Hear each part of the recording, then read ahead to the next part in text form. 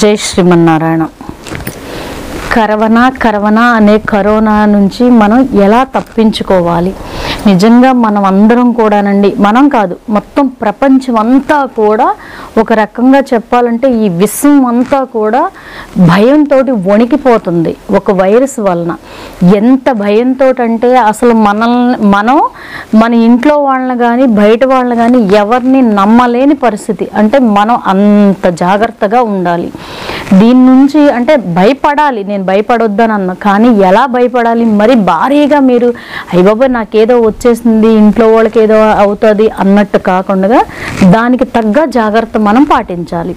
ఎలాగా అంటే ఇప్పుడు చూడండి మన ప్రభుత్వం ఎలాగా అంటే ఇటు అదేంటి తెలంగాణ అటు తెలంగాణ కావచ్చు ఇటు ఆంధ్ర కావచ్చు అంతా ఎందుకంటే తెలంగాణ ఆంధ్ర పక్కన పెడితే మొత్తం ప్రపంచంలో ఉన్న రాజకీయ నాయకులు అంటే మన గవర్నమెంట్ అంత ప్రభుత్వం అంతా కూడా ఎంత జాగ్రత్తగా ఉండమని మనకు చెప్తుంది?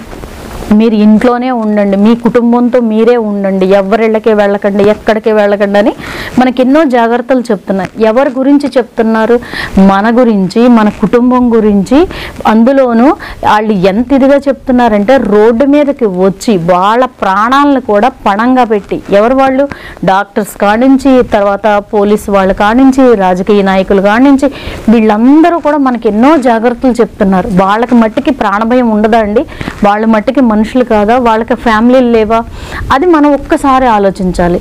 కాబట్టి అందులోనూ మనకు అంత భద్రత ఇస్తూ మీరు బయటకు రాకుండా మీరు ఇంట్లో ఉండండి అంటున్నారు కాబట్టి వాళ్ళని గౌరవించి మనం ఇంట్లో ఉంటూ మనం ఏం చెయ్యాలి అన్నది మనం చేయాలి అలాగే ఇప్పుడు సపోజ్ బయటికి వెళ్ళ వెళ్ళక తప్పదు అని అనుకున్నప్పుడు వెళ్ళారనుకోండి చక్కగా మూతికి అదేంటి అసలు నోరు అంటే మనం తుమ్మినా దగ్గినా అసలు ఎదటి వాళ్ళ మీద పడకుండా ఉండటానికి మీరు మాస్కులు కట్టుకోండి.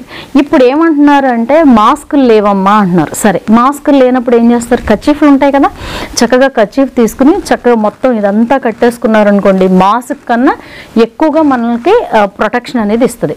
ఇలా మళ్ళీ అది మనం బయటికి వెళ్ళి రాగానే ఇప్పుడు మనం బయటికి వెళుతున్నాం. రాగానే మనం ఏం చేయాలి? అపార్ట్మెంట్లో ఉన్నా ఇంటి దగ్గర ఉన్నా ఎక్కడున్నా సరే ఫస్ట్ కింద కాళ్ళు కడుక్కొని చక్కగా అక్కడ సబ్బు కానీ ఏదైనా సరే లేదంటే నిమ్మకాయ కానీ పెట్టుకుని కాళ్ళు చేతులు మొత్తం ఎంతవరకు అయితే మీకు స్కిన్ కనిపిస్తుందో అంతవరకు కూడా శుభ్రంగా సబ్బు పెట్టుకుని వాష్ చేసేసుకున్న తర్వాత నిమ్మకాయ రాసేసుకుని అప్పుడు మీరు లోనకి రావాలి. లోనకి వచ్చేటప్పుడు కూడా మీరు కట్టుకున్న బట్టల్ని విప్పేసేసి చక్కగా ఒక కొంచెం వేడి నీళ్ళు పెట్టి ఆ వేడి నీళ్ళలో కొంచెం నిమ్మకాయ తర్వాత ఉప్పు వేసి బట్టలన్నిటిని కూడా ముంచేయాలి. ముంచేసిన తర్వాత బాటిల్ ఒక అరగంట నానబెట్టి ఈ లోపల మీరు స్నానం ఇవన్నీ ముగించుకున్న తర్వాత మీరు స్నానం చేసే దాంట్లో కూడా కొంచెం కళ్ళుప్పు కొంచెం నిమ్మకాయ వేసుకుని తర్వాత లాస్ట్లో ఒక మగ్గు నీళ్ళలో చక్క అదేంటి డెటాల్ వేసుకుని స్నానం చేయండి. ఈ బట్టలు వచ్చేటప్పటికి శుభ్రంగా అక్కడికి వాష్ చేసేసుకున్న తర్వాత లేదా వాషింగ్ మిషన్ ఉంటే కనుక వాషింగ్ మిషన్లో వేసేసి మళ్ళీ తీసి ఆరేసే టైంలో మళ్ళీ దానికి కూడా డెటాల్ పెట్టి అప్పుడు పారేయండి. అలాగే ఇల్లంతా శుభ్రంగా ఉంచుకోవాలి. ఇంట్లోకి వచ్చేటప్పటికి మనకి దుప్పట్లు కానీ టవల్స్ కానీ ఏవి కూడా రెండు రోజుల నుంచి వాడకూడదు. ఎందుకంటే ప్రతి మనిషి ప్రతి ఇంట్లోనూ వాళ్ళు వాళ్ళే జాగ్రత్త తీసుకోవాలి. ఎవరు వచ్చి మనకు చెయ్యరు. కాబట్టి ప్రతి విషయంలోనూ మనం జాగ్రత్తగా ఉండాలి. ఇంకొకటి ఏంటంటేనండి ఇప్పుడు చిన్నపిల్లలు ఉంటారు. చిన్న పిల్లలు అంటే ఇప్పుడు మనకు ప్రభుత్వం ఏమని చెప్తుంది? పది సంవత్సరాల లోపు అరవై సంవత్సరాల పైన వాళ్ళు.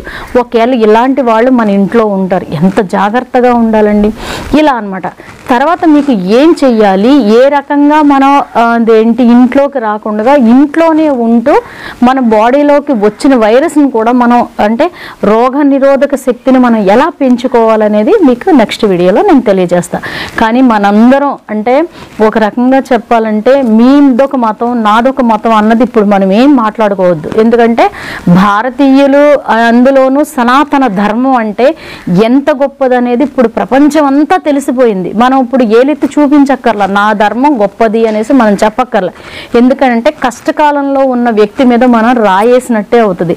కాబట్టి మనమందరం మనుషులు. ఎక్కడున్నా సరే ఇప్పుడు చైనాలో ఉన్నా ఇటలీలో ఉన్నా ఎక్కడున్నా అమెరికాలో ఉన్నా తెలంగాణలో ఉన్న ఇండియా అదేంటి ఆంధ్రాలో ఉన్న ఒక మనిషికి ఉండేది బ్లడ్డే ఆ బ్లడ్కి మనిషి కష్టపడుతున్నాడు. బా ఇదేది వైరస్ బారిన పడుతున్నాడు కాబట్టి ఇప్పుడు ఏ రకంగానూ మనం మాట్లాడకుండా మనుషులు అందరం కూడా కష్టపడి ఈ వైరస్ ఏదైతే ఉందో దాన్ని తరిమి కొట్టే ప్రయత్నం చేద్దాం. అందరం అన్నా చెల్లెళ్ళు అక్క తమ్ముళ్ళ కింద భావించుకుంటూ ఈ దీన్ని ఎలాగైతే వచ్చిందో అసలు కూడా కలిసికట్టుగా ఉండటం గనక ప్రయత్నం చేస్తే అది ఖచ్చితంగా వెళ్ళిపోవడం అనేది ఉంటుంది.